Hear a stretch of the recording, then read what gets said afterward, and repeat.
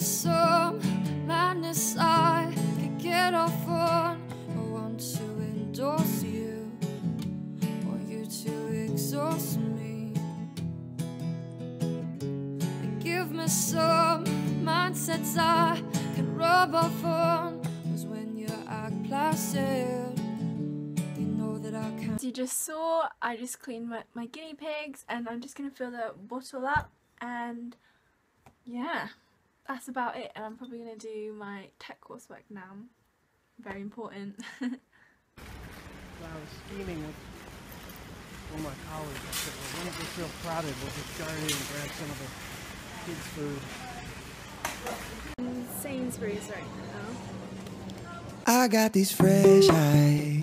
Never seen you before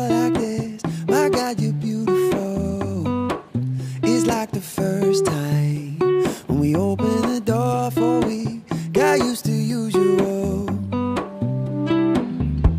It might seem superficial, mhm, stereotypical man. mhm. You dress up just a little Sainsbury's. uh, to nominate the name from their new in case it snows up there in okay? And the winning entry has just been announced. I love this. And the winning entry is Salt. Slinger the Slayer, baby. The last over in the. Hey guys, um, it's like 9 o'clock or something, or 10 o'clock, and just drinking me some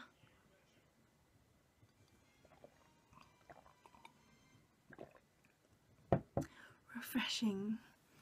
I uploaded my vlog day 9 at around like 7 o'clock or 8 o'clock or something, and right now I've just um, been uploading my new main channel video which will be going up tomorrow Sunday.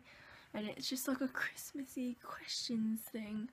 I just thought it'd be a bit festive ooh, festive you know but that's about it and I'm probably going to be going to bed soon so yeah. I love you all so much and I'll see you tomorrow with another vlog. Bye! I don't know why I did this I just I took the makeup off my eyebrows on this one and then I took the eyeshadow off off this eye but kept the eyebrow. I don't know why I did that I was just wanted to see the difference really. But like I don't know. I feel like eyebrows, like they make a lot of difference on your face. Like, there we go.